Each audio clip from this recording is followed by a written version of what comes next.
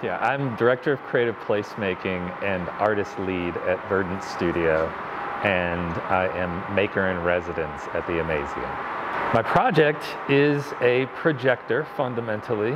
Um, it uses a light and a lens. Uh, the projector is suspended in the air above the viewer, and the light projects down through a shallow pool of water I start from thinking about the space that the object is going to go into.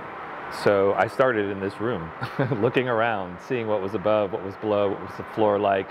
It's a space that people are encouraged to explore and play with things and touch, you know, which artists don't always presume that their work is going to be interacted with in that way. Maybe that's why I ended up putting it high in the air so you can't touch it. So the ability to be back in the studio and to know that the responsibility for the fabrication of the thing was going to rest solely on my shoulders and that I was going to need to do and learn some fabrication processes that I had not been familiar with in the past. That's confidence building, which is good, but it also it it encourages me to continue to say that I'm going to do things that I don't know how to do yet.